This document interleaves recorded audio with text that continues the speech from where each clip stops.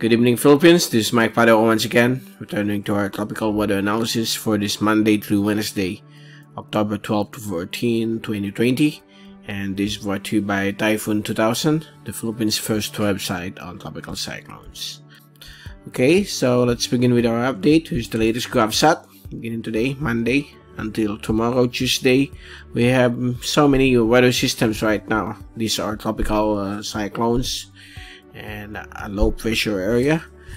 But we are going to discuss first Nika, which was once a shallow LPA which traversed northern Luzon over the weekend and it rapidly intensified into a tropical depression while over the West Philippine and South China Seas areas. West Philippine and South China Seas and is now outside of the Philippine area of responsibility so Nika is now a tropical storm with international name Nangka. It's a common uh, fruit in the Philippines known as langka. So Nangka is now outside of PAR moving towards Vietnam and Hainan Island.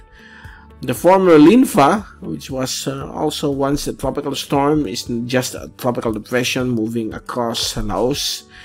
So Nika will be the next one that will follow the path of uh, Linfa, a little bit to the north so this is not unusual during time of uh, uh, La Nina climate. That's why most of the uh, development are concentrated over the West Philippine and South China Seas, west of the Philippines. So this is good news for us. But we are keeping an eye on 94W, which might become a minimal tropical depression before hitting the Philippine landmass. So based on the forecast models, it might pass over northern Samar, Bicol region, across the southern Tagalog provinces within the next two to three days. So that will be on uh, Wednesday and Thursday. So we are going to observe this system. Right now it's still low chance for the next 24 hours, but on the 48 to 72 hours, it may become a tropical depression and could be named as Ophel if Pagasa upgrades it into a tropical depression. So it will be a rainy uh, Wednesday and Thursday once again across eastern Visayas, southern Luzon, including the Bicol region. So tomorrow, Tuesday, we could see some hot weather, but in the afternoon and evening, the thunderstorms are back because of this low pressure area. Let's hope and pray it won't develop into a tropical depression, but most of the models intensify it once it moves into the West Philippine Sea just like Linfa and Nika.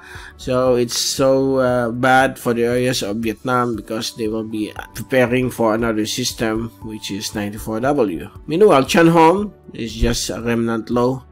It won't enter PAR and it will just die down due to unfavorable atmospheric conditions over that area.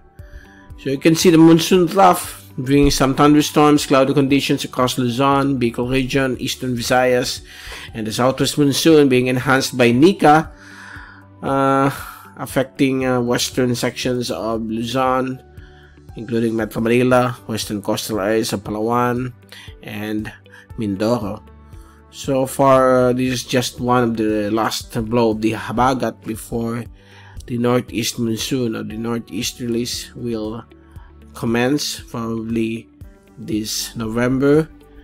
And uh, we'll keep you updated in the coming days on this uh, possible new threat but let's hope and pray it will remain just a low pressure area but it looks like it may become a tropical depression but we are here to advise you in the coming days. Now let's look at our fast animation. So you can see here the large circulation of uh, Nika or Nangka just already outside the PAR and it's uh, a tropical storm of 65 or 75 kph moving uh, faster towards Hainan and northern Vietnam. The monsoon weather is still affecting uh, Calayan Island group and the western sections of Luzon while here comes the LPA 94W which is still uh, quite disorganized but is slowly consolidating we are going to observe that in the coming days so this is the area of clear weather but tomorrow afternoon or Wednesday bad weather or rainy weather will uh, commence across the Bicol region once again and eastern Visayas. Okay, now here's the zoom in satellite animation. You can see the large collation of uh, uh, Nika or Nangka while here over the eastern uh, part of the Philippine Sea we are keeping an eye on tropical disturbance 94W and LPA you can see here currently organizing with thunderstorms here over the uh, southern part of the central Philippine Sea. And so Bicol region and eastern Visayas might have some good weather in the morning, but in the evening, it depends on the uh, circulation of this uh, LPA. If it reaches Bicol region and eastern Visayas, rain weather, rainy weather will start to be felt by tomorrow Tuesday evening. So watch out for that. And as we look at our uh, global uh, model tracks, it's all the uh, showing the tracks of once Chan, uh, former Chan-hom or TD Chan-hom. And this is uh, uh, the new system, Tropical Storm Nangka, will make landfall within the next 36 hours across Hainan and uh, the next three days over Vietnam and use the remnants of Linfa. Uh, the uh, next system is now is not yet showing some model output but by tomorrow there might be some output already based on the forecast models and here's the, uh, two day to three day rain pressure and wind forecast from ECMWF courtesy of windy.com so by tomorrow morning, you can see here Tropical Storm Nangka approaching Hainan. And here's the uh, LPA becoming active to the east of uh, Samar. And on Wednesday, it will be over the northern coastline of Samar, making landfall over that area as an active LPA. Possibility it may become a tropical depression.